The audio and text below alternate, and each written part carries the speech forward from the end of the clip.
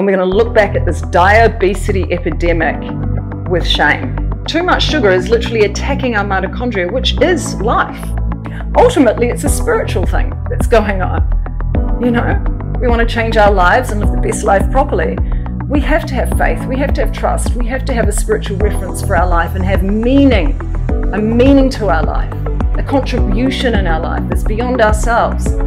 We want to turn a blind eye to things in the West. We have a cognitive dissonance, I think, for hearing hard truths about the world. But make no mistake, ignorance is not bliss.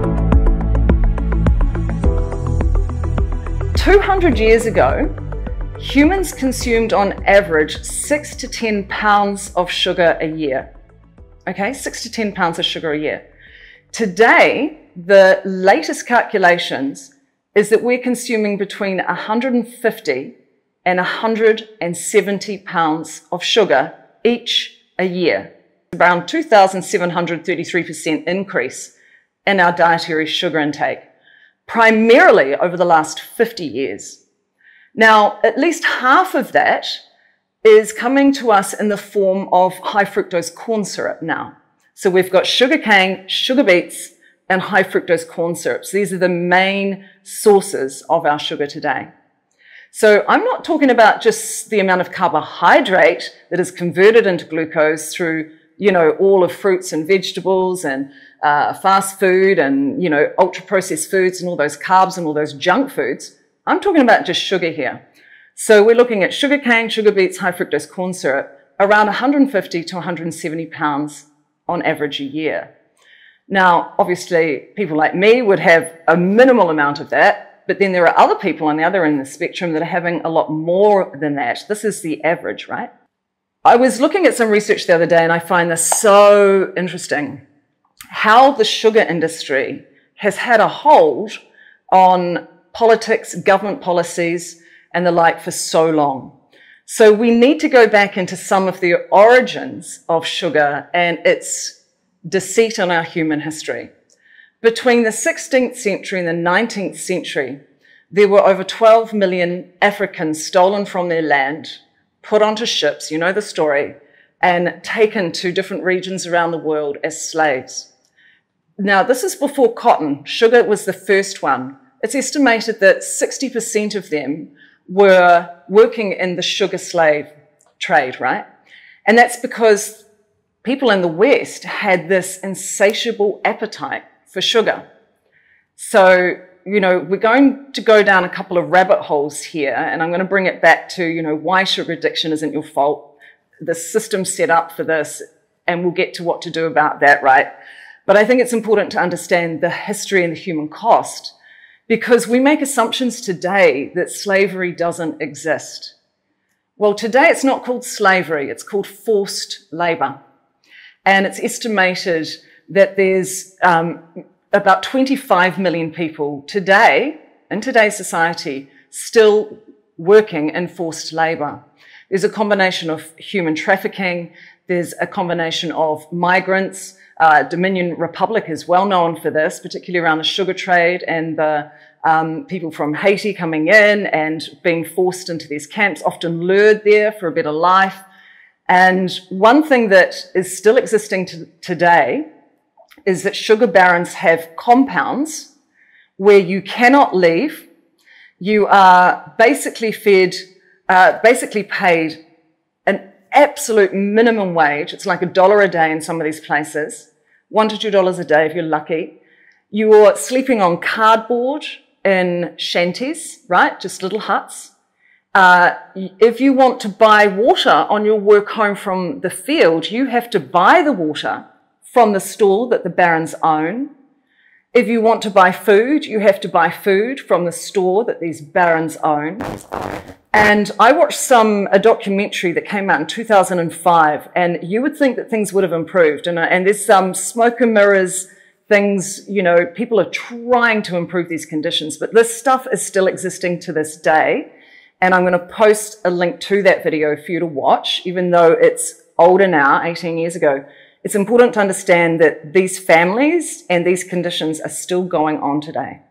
So in this, in this movie, they show, I think it's called Sweet Deception, they show these compounds.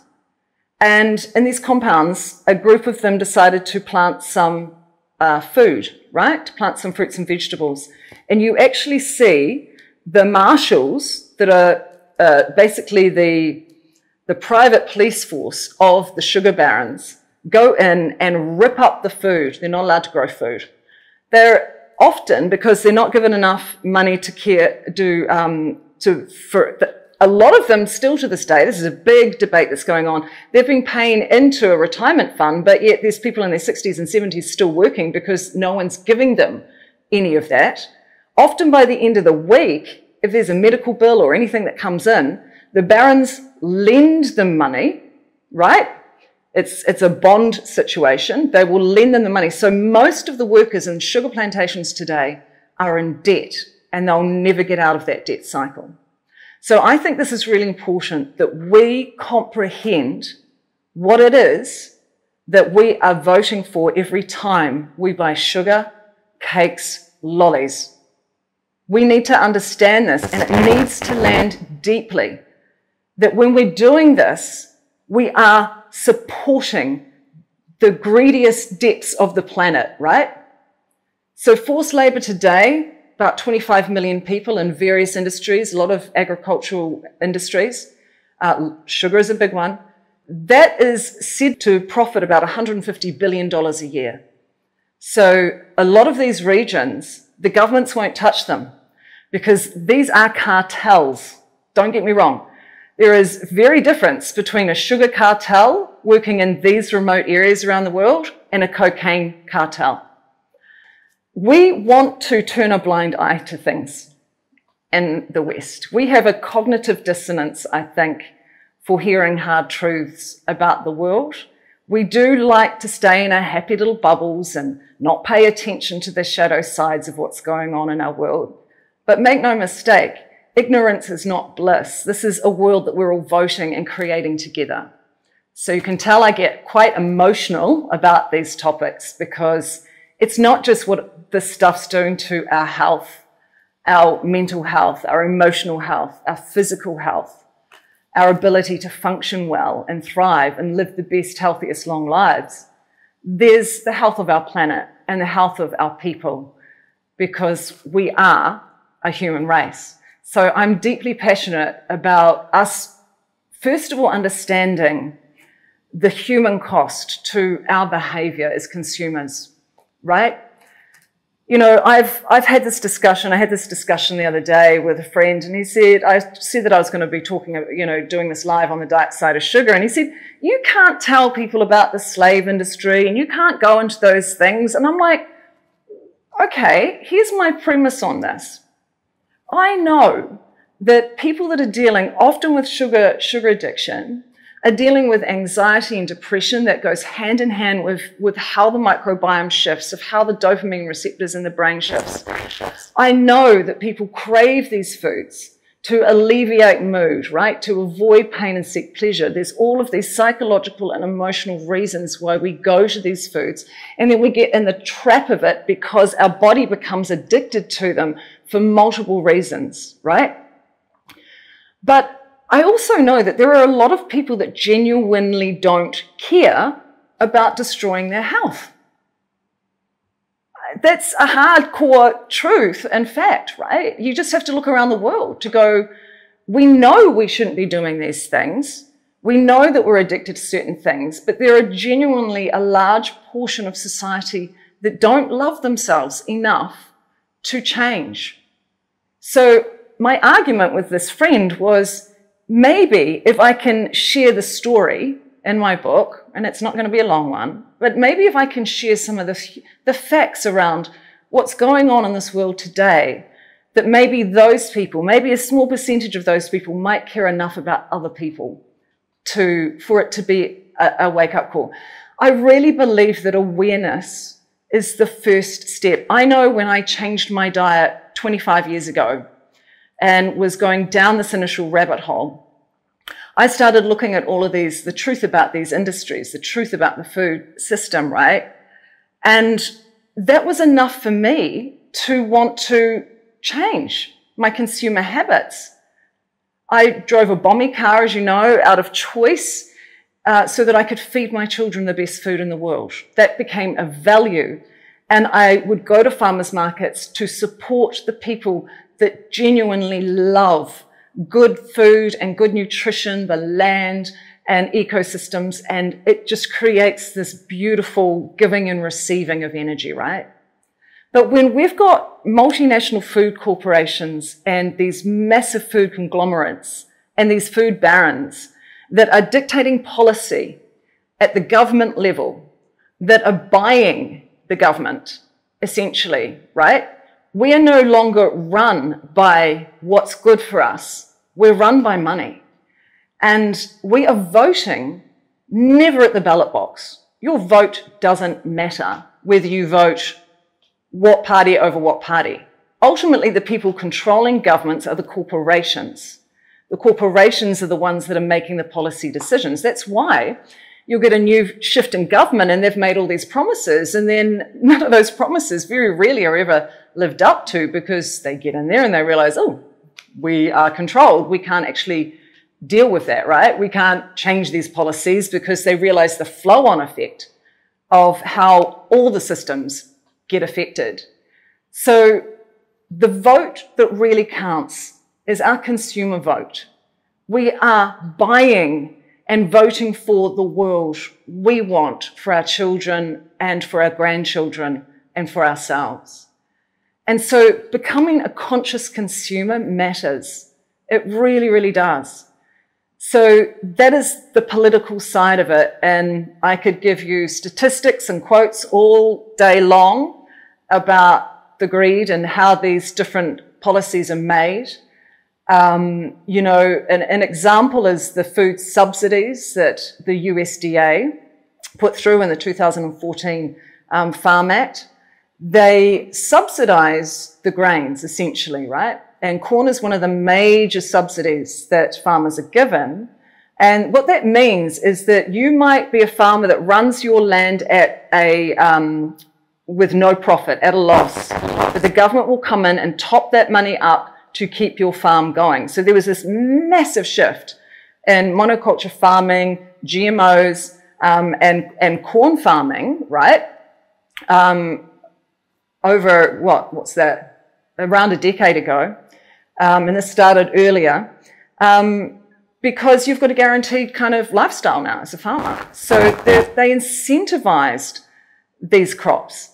Now, high fructose corn syrup comes from these corn subsidies. So the American government is literally funding one of the most poisonous products we could consume for our human health. And high fructose corn syrup is found in pretty much all ultra processed foods on the supermarket shelves in America. It's had a slight decrease in sales and demand over the last few years. The reason for that is that we are waking up to the, uh, to the health uh, issues that high fructose corn syrup are having on the body. The reason for that is that if we consume too much fructose, then it becomes toxic to the liver and it can create non-fatty alcoholic liver syndrome. Um, and it also signals the body to store fat. So there's been this humongous rise in obesity with the rise parallel to high fructose corn syrup. It's cheaper than sugar, right?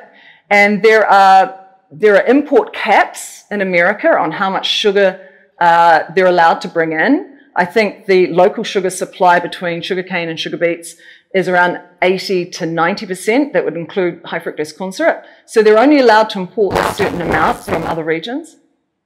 But they're providing these subsidies to support what? The stability of these industries that are what now then causing the number one you know, I, I would argue that, uh, that these are the number one causes of death.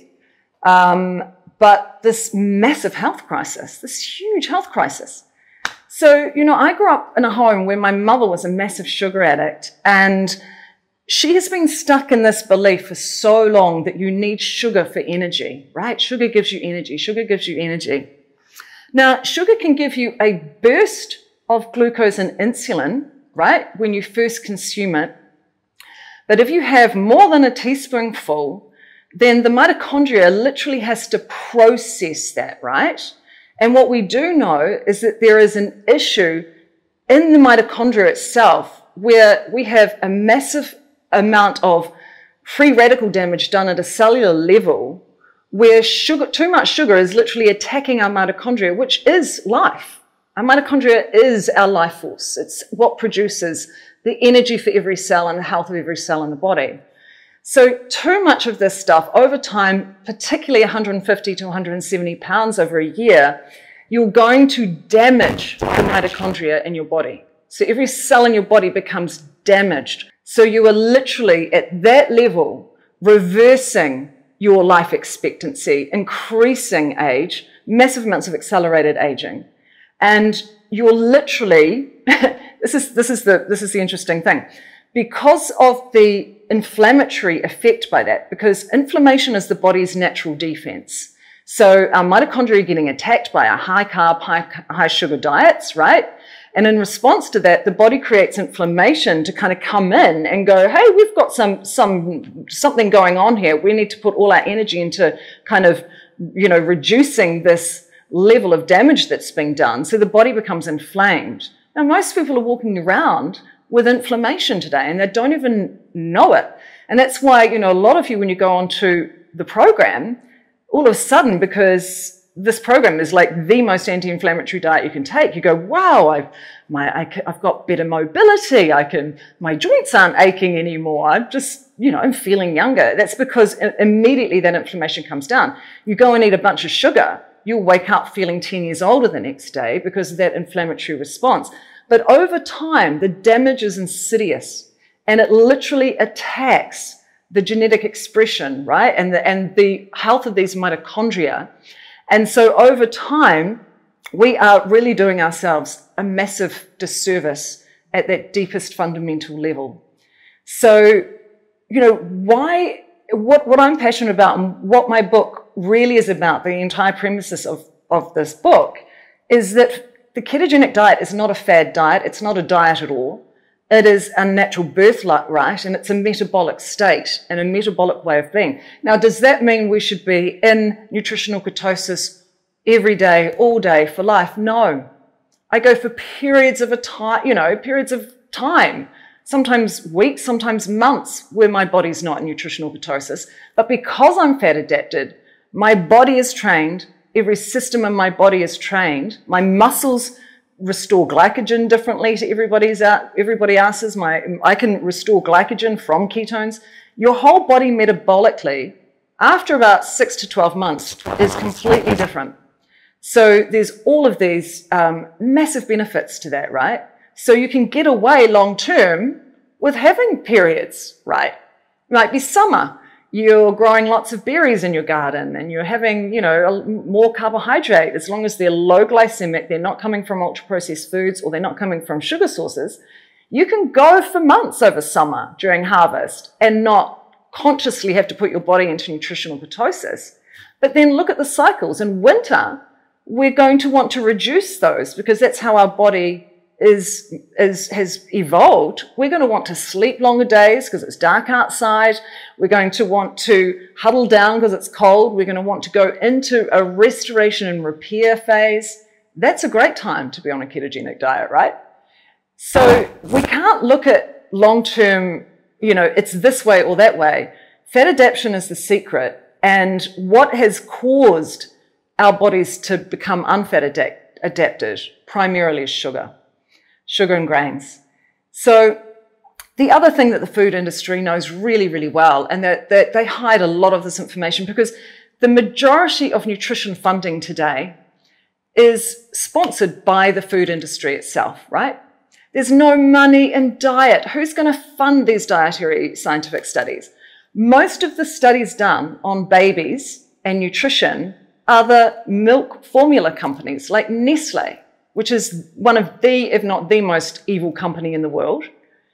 Uh, you know, so it's very hard to kind of get any, any science or massive studies done in a field that's just focused on what I'm speaking about. Although there's lots of people doing it, mostly volunteer, the researchers aren't going and specifically looking for things unless there's a reason for it. So majority of our nutrition studies today have been industry led. You know, there was this, um, this guy that came out and he, he, he proved apparently that sugar doesn't cause obesity. And he, um, he basically concluded that, you know, sugar doesn't cause obesity, which we know, even logically, isn't true. And then when, because science researchers have to do disclosures and looking at funding, an investigator went in and looked at his history and he'd been given a massive grant, you know, a few years earlier by the cereal companies and by the sugar companies, right? So these, you cannot trust half the scientific information that's out there today. You've got to go into it, observe it and go, oh, that's really interesting. So who are these researchers? What institutes do they belong in? Where are the conflicts of interests? And have they received any grants by any of these massive food corporations over the last decade? You follow the dollar and you find the truth. That's so important. It's the same in the pharmaceutical company, same in agriculture, right? And absolutely the same in food. You follow the dollar and you find the truth. So we, I think, as humans, like to be in this nice bubble. Oh, the government's got our back. And as a young, struggling mum, and you're tired and you're working and you've got two little kids, you want to go to the supermarket. You want to pick the one that's got all those ticks on it. You want to feel like somebody's got your back, right? Who do you believe? Well, I can tell you now, if it's in a box and it's pre-made, it's not good. The sugar industry know how addictive sugar is. And if you, I hope you've seen my video. Um, it's also on YouTube on, you know, the truth about the food industry, where I talk about, you know, fat, salt, and sugar. Right? They, they call it the holy trinity in the in the food industry, and they do multiple experiments to find that sweet bliss point where all of that is balanced for you. Uh, you know, there's also the crunch and how quickly the flavor dissolves so that, you know, by the time you finish chewing that, that potato chip, the flavor's gone and so you're craving more, right? There's all these, all these tricks. But sugar is highly addictive. Um, eight to nine out of 10 rats will always choose sugar water over cocaine. It was interesting how they discovered this. There's been multiple studies done on this now, and it was actually a, uh, a cocaine addiction researcher that discovered this. Um, and he thought that he'd just top up their diet with some sugar water. He never, he wasn't even looking at that. And then he started recognizing, oh, they're not going for the cocaine anymore, right? So eight, eight, 80 to 90% will, will choose that over that. So let's talk about what goes on with with sugar and, and, the addiction process. So now we've got sugar, com sugar coming into our diets. We know that it actually fundamentally attacks the mitochondria, destroys mitochondria, which is essentially destroying health at the deepest subcell level. Um, so we've got that going on. We know that it's reversing your biological age. We know that it's dramatically increasing inflammation. And this is the really interesting thing. There's a, a term called glycation. And how inflammation kills is we literally get cooked over time. Our cells get cooked to death. That's basically what inflammation is, right? We are cooking ourselves, which I find really, it's kind of not funny, but funny. So now, so now we've got this front end coming in, but then what is going, another layer to this, which I, is, I believe is worth mentioning, is that there is a dramatic amount of research and science coming out now to say the reason why the body tries to burn off glucose and then it stores it as fat, right? So, so if we've got too much sugar because we've just had a massive sugar intake from that meal or we've been eating a bag of lollies or whatever, don't forget anything over one teaspoon is too much for your body. You cannot absorb more than that. The body's going to keep, you know, the insulin's going to keep bombarding those cells and over time, a high sugar diet is going to create um, insulin resistance where the cells are so sick and tired of it, right, that they become uh, desensitized to insulin. So that's leading towards the diabetes ones. But most people aren't even aware that this is impacting everybody, diabetic or not. So what happens though is that the insulin will go, oh, they don't, that cell doesn't need that. Um, there's enough energy in there for the mitochondria to do its thing for now. So i am going to wrap a lipid around, I'm going to convert it into lipids, and I'm going to store this fat for later, right? So glucose is a, is a fat increasing storage thing, without a doubt. So of course sugar causes obesity, right? It's just a crazy thing that it's incredible the insanity of what some of these people come out with. So now we've got sugar and insulin, which is the fat storage, fat store, fat store, fat store, fat store hormone. Now, this is how people gain weight, and it's also how people can't get off the cycle. If you do not reverse this metabolic underlying factor, right? And what I mean by that is you have to get fat adapted. You have to reverse this mechanism of how your body is literally metabolically made, right?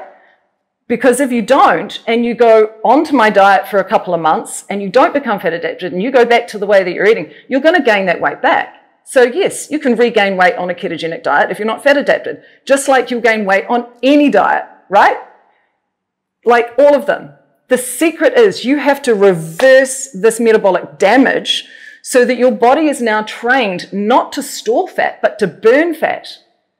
And so, you know, I had this conversation with Teresa the other day. She said, have you had a discussion with, with Matt about um, whether you can get fat on a ketogenic diet? I'm like, oh no, it's virtually impossible to do that. There's some mechanisms that we have to do in the medical diets with people with cancer to make sure that they keep fat on their bodies, right?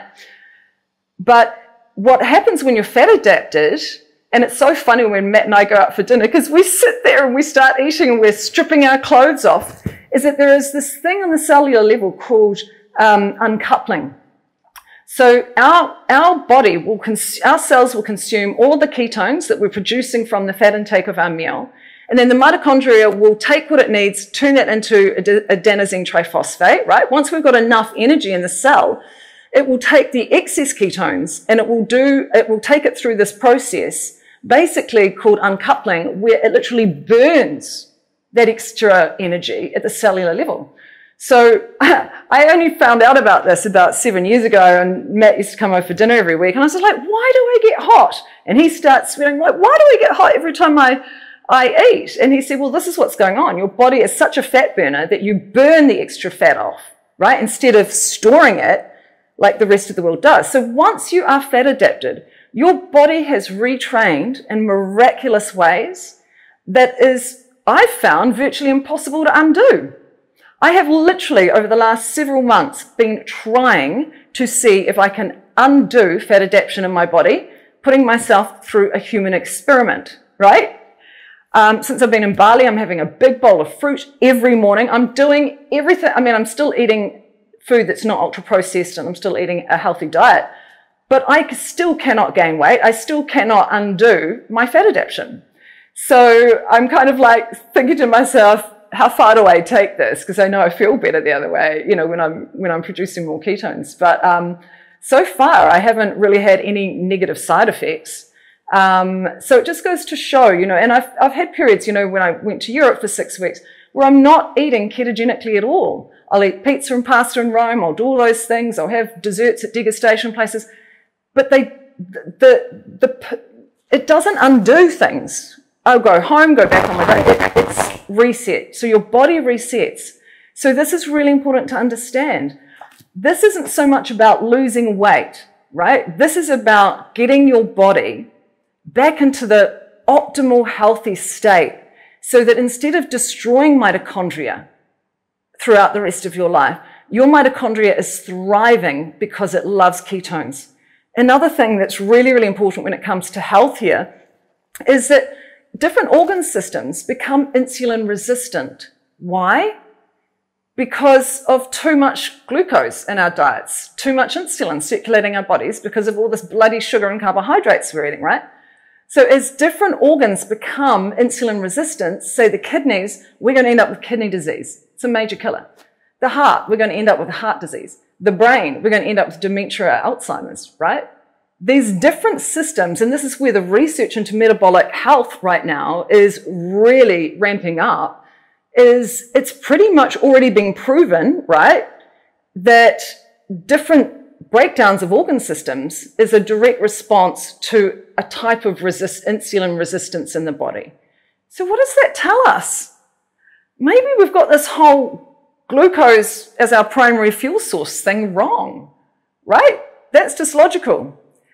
So I'm going to park that to the side. We know why, right? We know the greed, we know the corruption, we know that slavery still exists, we know the health consequences, we know those things. So I'm going to just park that to the side and let's come down to the, the cycle of addiction. There are a number of mechanisms in how we become addicted to sugar and carbohydrates. One of them is that it alters our microbiome, right? Our whole immune system um, becomes altered as a response, right? Our immune system um, primarily is in our microbiome, our gut. So we are 10 times more bacteria, yeast, and viruses than we are human cells, right? Most of you would have heard me say that before. Bacteria is so microscopic to the size of each human cell. Um, so we think, oh, no, we're, we're mostly made up of human cells. Well, actually, depending on what paradigm you live in or how you look at it, we are more bacteria than we are human. Isn't that interesting? So we are this ecosystem, right? We've got over 30, 35 trillion cells within our body. We've got 10 times that in bacteria. Now, as our diet alters, our microbiome will shift. And within the microbiome, there is this, uh, basically, it's like, I love this. It's a bit like a war analogy, right? We've got a globe and we've got certain bacteria fighting other bacteria. We've got this bacteria over this bacteria. And there's kind of this bit of a war going on in an unhealthy body. If we consume too much sugar, too much ultra processed foods, that's going to shift and we're going to end up with more bad bacteria, more pathological bacteria that's going to continue to degrade our immune system and our overall health, right? We'll become more susceptible to gut issues, uh, various conditions, autoimmune conditions, uh, all sorts of chaos is, you know, basically starting in this microbiome level. So as we eat lots of sugar and we become really heavily reliant on sugar, that microbiome shifts and now the balance of power is run by the negative bacteria, right? So these particular types of sugar-loving bacteria will communicate to the brain through the enteric nervous system, which runs from the esophagus all the way down to the anus. You've got neurons going down there. They will communicate electrical signals to your brain to tell you to eat more sugar to feed them, because that's what they live off, right?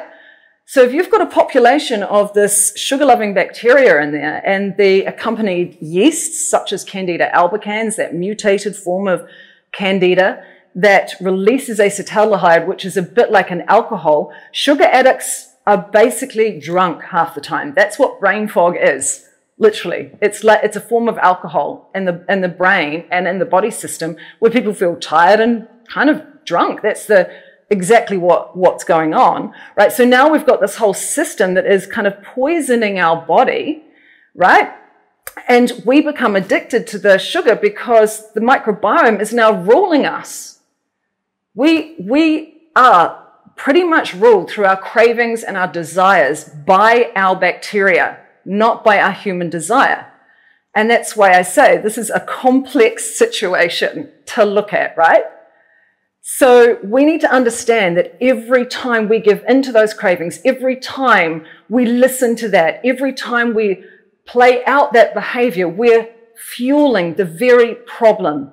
I look at it a bit like this. You've got an entity inside your body that is ruling you. You've got an entity in there that is telling you what to do, right? So as soon as you wake up to this, you go, I'm not, I'm not craving the sugar. That dirty fungus in my gut is craving that sugar, that horrible microbiome, and you need to shift. So this is why eating cultured foods and why there's such an emphasis on the healing foods and the gut health in our program because we want you to keep working away at shifting your microbiome. That's what the healing phase is, right? We want you to start bringing in the good, healthy bacteria because as you start repopulating that, there will be a microbiome shift where you are now primarily uh, desiring and craving healthy food. And we see that in the program all the time, right? I can't believe I used to eat that. I've got no desire for that anymore. Because who's running the show? So we can come at this from a mindset perspective, but let's just look at the nuts and bolts of the physical body here for a moment. One of the big issues that we've got here is that we know that serotonin and dopamine are primarily produced in the gut. These are the feel good neurotransmitters. Dopamine is the reward based one. Serotonin is primarily a mood regulator. So these are produced in the gut, right? So anxiety and depression is not a neurological or a mental problem for a lot of people. It's a microbiome problem. So we need to understand this. So you can't just take an antidepressant and try and block in more serotonin in your brain and get that circulating without fixing the cause, right? The cause. So as we shift our microbiome, there is a dramatic shift in our mental health and our mood regulation.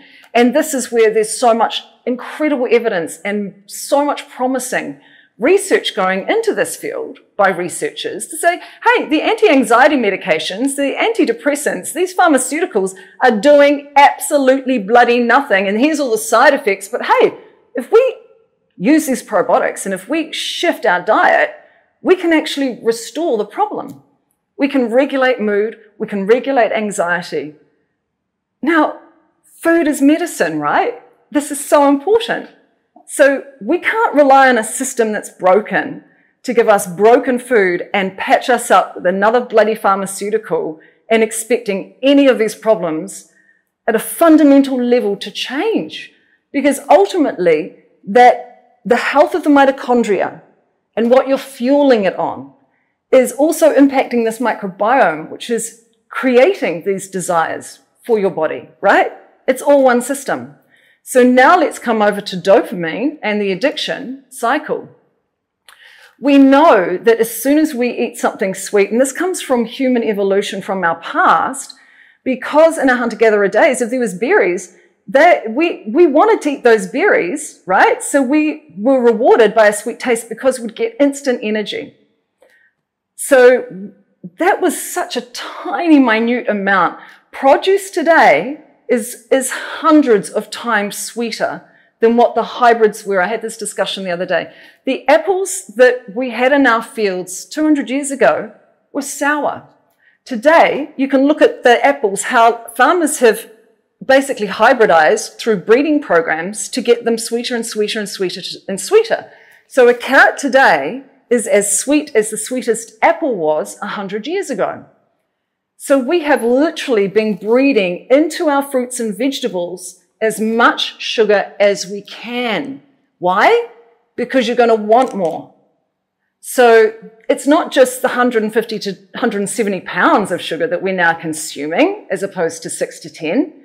It's the sugar in your fruits and vegetables that we're getting more, right? We have become addicted to the taste. And it's really important to understand that that was originally a survival mechanism.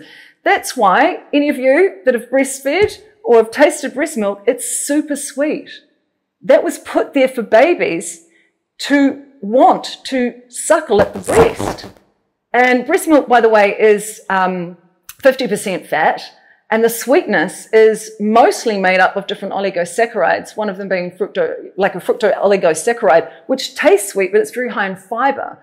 So breast milk has a very, very low glycemic index, despite tasting sweet, right? So this is how nature was set up to ensure that the baby wanted to, would survive.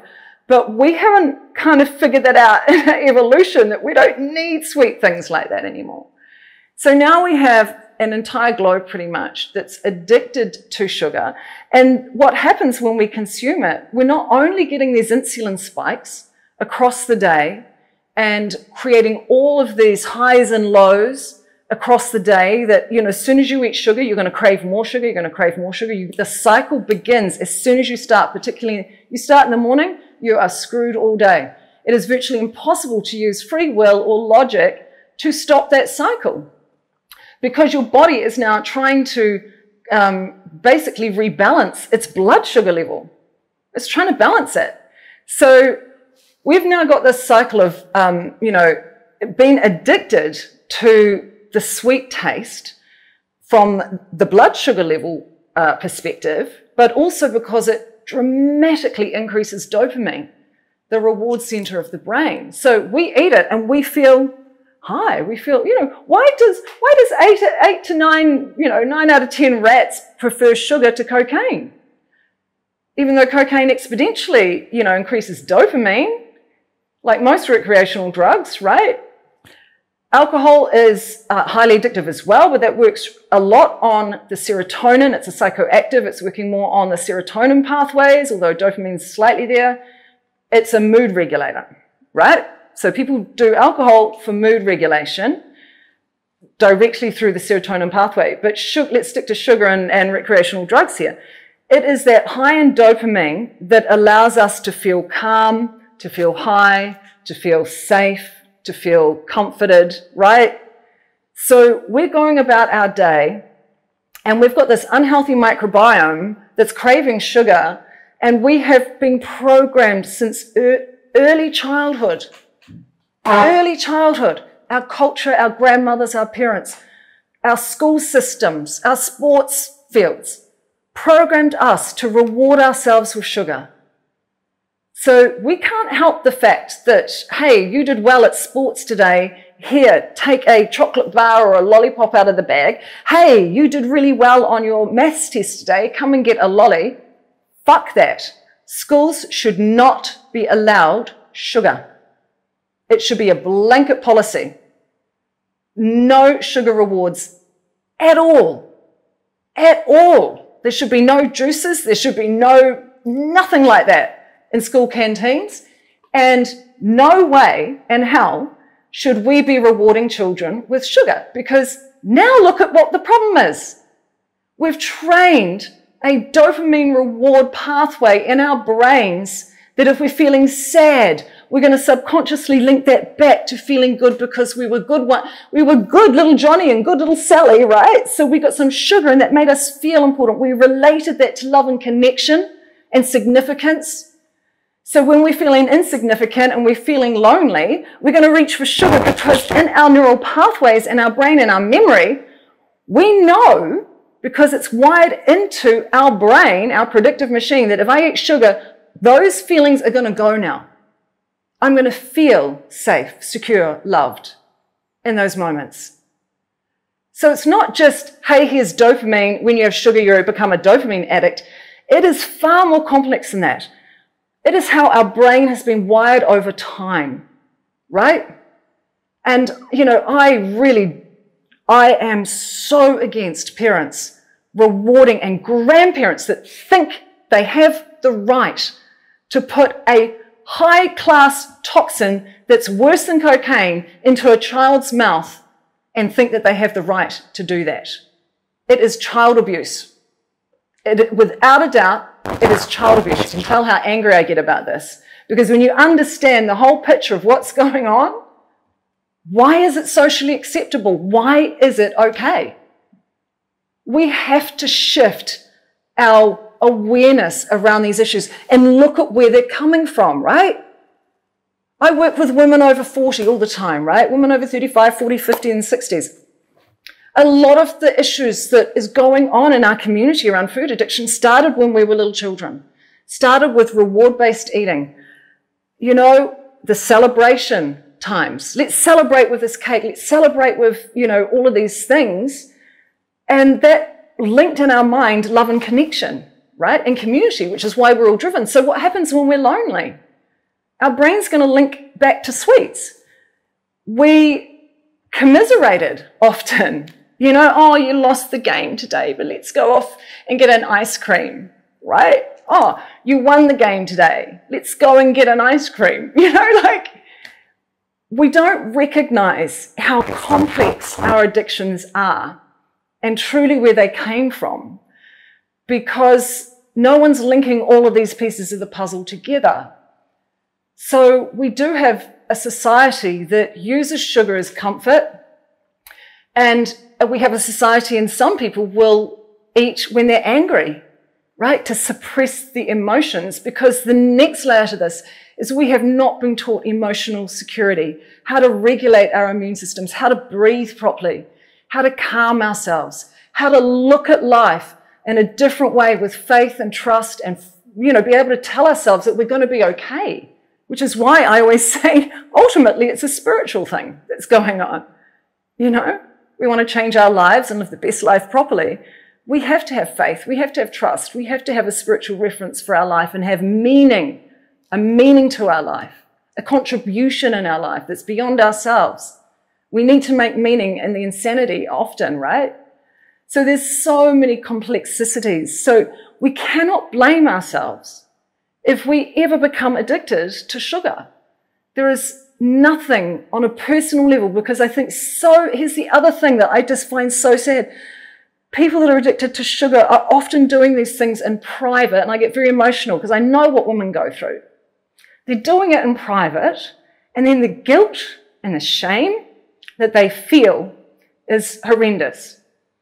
And there are genes that are altered now in about 3 to 5% of young children that have no mechanism now, because of the mitochondrial damage, to be able to shut off the, um, the ghrelin. You know, this, this, the leptin and ghrelin, the hunger hormone and the satiety hormone are out of balance. They're all being resistant now. So people don't know how to shut off that feeling of hunger. So we often will blame people for being obese or being overweight, and we can criticize them, and we can look at what they're eating out in public and go, oh, they shouldn't be eating that. You know, it's just like, who gives anyone the fucking right to judge somebody, right? Yes, nobody should be eating ultra processed food. No, especially obese people. But do you know what? There's other stuff going on where it's actually not their fault. So we, again, we need to stop the judgment of what's going on but I know that people are often doing this in private and the guilt and the shame, and they're not feeling as though they can get themselves together, that they're not strong enough, that they lack willpower, that they're a failure. All of the consequences and the side effects of that, that's what hurts me. That's why I got tears talking about that, because again, this is why we relate this back to self love. Because a lot of these things, when we add all these dots together, are stripping away you're set up for failure out there, girls. So we need to bring awareness to this. And it comes down to how do we stop this cycle, right? How do we get off this cycle when it's so hard? There is withdrawal symptoms. The first thing to do is know how to regulate your nervous system because there are multiple side effects to lots of sugar. One is that it drives up cortisol. One of it that it's, you know, giving us this false sense of energy, right? We get stressed, we get anxiety. It, it's all tied into the nervous system. So we need to first of all learn how to breathe, how to regulate our nervous system, how to return to a place of safety, how to comfort ourselves, and how to lean into emotion instead of avoiding emotion. That's the first thing to me because until we can cope with the next step, which is withdrawing from sugar, doing a sugar detox, you know, eating our way to health, changing our microbiome so that we're not ruled by this fungus and this bacteria anymore, making that physical shift, knowing the things to eat to create a healthy gut, a health, which is a healthy brain, a healthy mood, right?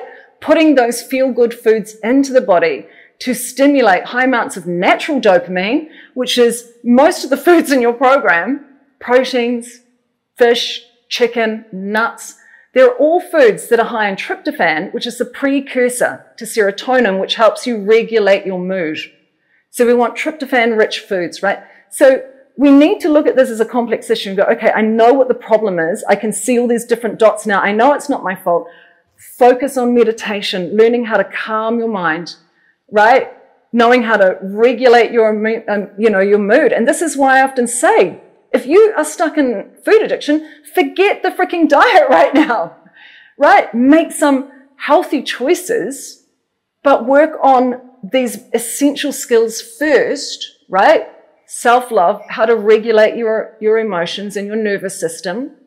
Focus on that, and that's going to set you up for success when you make the changes and make that switch. There are certain things that you can start bringing into your diet that's going to help stimulate tryptophan to help you regulate serotonin. You need to look at the gut. You need to look at leaky gut and the gut health, right? That's why we do the gut health challenge to restore the essential foundation for these biochemical drivers that's going on. And we need to call bullshit on how we've been programmed for food to fill our emotional needs. Our six essential needs are met through this. How we get sidetracked in our subconscious mind that sugar's going to fill a need because I'm lonely, I'm sad, I'm angry, right? So once we bring awareness, which is why this community is so important, which is why it's so comprehensive, we are training you in all of these different areas, right? We're, we're giving you these life skills in these different areas so that you can make a permanent change and you'll be able to go back to being fat adapted and reverse your biological age, stay fit and young as long as you can, right? Until your time is up. So that you don't have to rely on pharmaceuticals because you're taking care of your health at the deepest level. There is not a pill in the world that will bypass what you're able to do yourself for your mitochondria, for your own life force energy, right? So I want you to know that I know very deeply that, you know, food addiction at this level is fucking hard, right? I've watched my mother with this. But we need to educate ourselves. And we need to get inspired to educate ourselves because we love ourselves enough to do that. And I, I really believe that through learning about things, little pieces of the puzzle start click, click, click, click, click, right? And eventually, as we chip away at these things, that switch in our brain, that switch in our consciousness naturally happens. And we're returning ourselves to self love and self worth. And we know that we can do it. And so I have huge compassion for those of you that are stuck in this cycle. My advice is get rid of every processed food in your house, get rid of your sugar. Um, you know, drive a different way home from work, not past that drive through, or don't go to that cafe where you're buying that cake or that muffin. Change your life habits. The things that are on those automatic cues Go to a different supermarket that you don't know, even if you have to drive across town. Change the things that are in your subconscious mind that are triggering those automatic cues.